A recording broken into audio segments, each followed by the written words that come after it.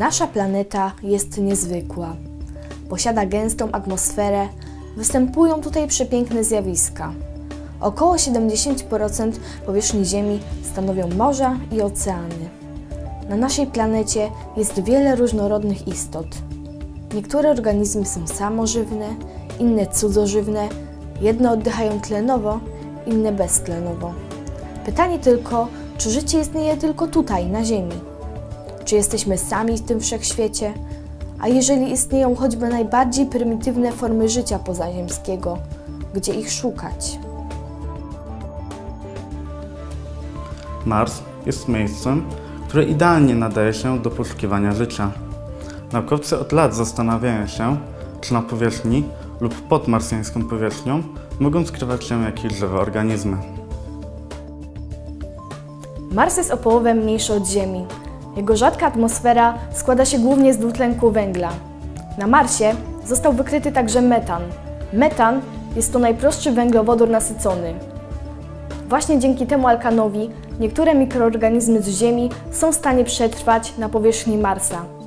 Nie wiadomo do końca, czy te bakterie już tam nie żyją.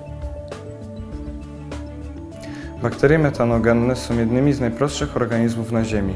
Wykorzystują one wodór jako źródło energii, a dwutlenek węgla jako źródło węgla. Ich produktem przemiany materii jest metan. Naukowcy sądzą, że obecność metanu w atmosferze Marsa jest podstawą, by sądzić, iż pod jego powierzchnią mogłyby żyć lub nawet żyją bakterie metanogenne. Metanogeny oddychają beztlenowo, nie przeprowadzają procesu fotosyntezy oraz nie wymagają również składników organicznych. Dlatego właśnie istnieje duże prawdopodobieństwo, że bakterie te mogą przetrwać w tak trudnych marsjańskich warunkach. Metan jest gazem palnym, dlatego też mógłby posłużyć jako paliwo dla przyszłych marsjańskich misji. Astronauci, którzy przylecieliby na Marsa, mogliby użyć metanowego paliwa, aby powrócić na Ziemię. Gdyby jednak źródło metanu na Marsie byłoby niewystarczające, można wtedy wytworzyć metan za pomocą reakcji chemicznej wodoru i dwutlenku węgla. Na czerwonej planecie znajduje się także azot, który stanowi około 3% atmosfery planety. Śladowe ilości azotu znajdują się również na marsjańskiej powierzchni. Niektóre organizmy przeprowadzają w warunkach beztlenowych proces denitryfikacji. Denitryfikacja jest inaczej zwana oddychaniem azotanowym. Przeprowadzają ją bakterie denitryfikacyjne. Wykorzystują one zawarte w podłożu azotany i azotyny i redukują je do amoniaku i azotu cząsteczkowego. Występowanie na Marsie azotu jest podstawą, by sądzić, że mogą tam znajdować się bakterie denitryfikacyjne. Przykładem bakterii, które przeprowadzają proces denitryfikacji jest Paracoccus denitrificans. Bakterie te zostały zarejestrowane w glebie zarówno w środowiskach aerobowych, jak i beztlenowych. Zwykle jest to bakteria w kształcie pręta, ale w fazie stacjonarnej przyjmuje kuliste kształty. Ma także podwójną membranę ze ścianką komórkową.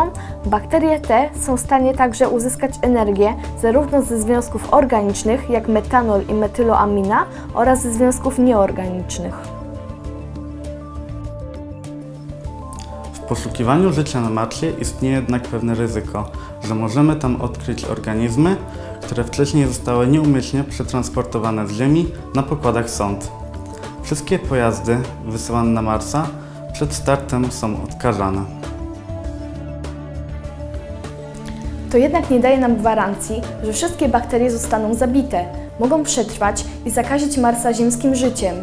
Po dotarciu na planetę mogą też przetrwać w stanie hibernacji, zamarznięte w lodzie, gdyż w niektórych regionach woda na Marsie stanie ciekłym, a po jakimś czasie zamarza. To wszystko świadczy o tym, że jeśli w przyszłości odkryjemy życie na Marsie, nie musi to znaczyć, że było tam ono od początku. Nie powinniśmy także uważać Marsa za planetę zamieszkałą wyłącznie przez roboty, gdyż istnieją ziemskie organizmy, które są w stanie tam przetrwać. Nie wiemy do końca, co skrywa jeszcze przed nami czerwona planeta. Być może kiedyś wylądujemy tam i znajdziemy odpowiedź na pytanie, czy jesteśmy sami.